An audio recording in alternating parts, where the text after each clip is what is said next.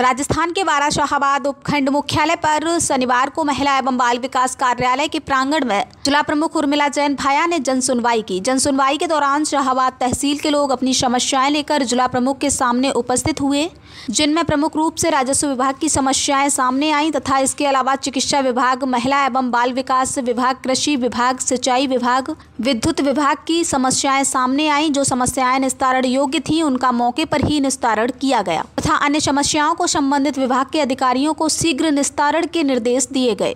इस दौरान चिकित्सा विभाग द्वारा गर्भवती महिलाओं को कड़ाइयों का वितरण भी किया गया।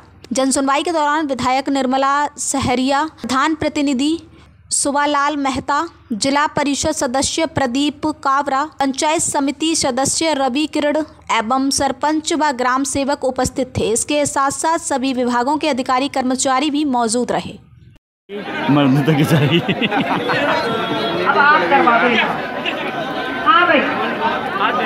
अरे पीछे से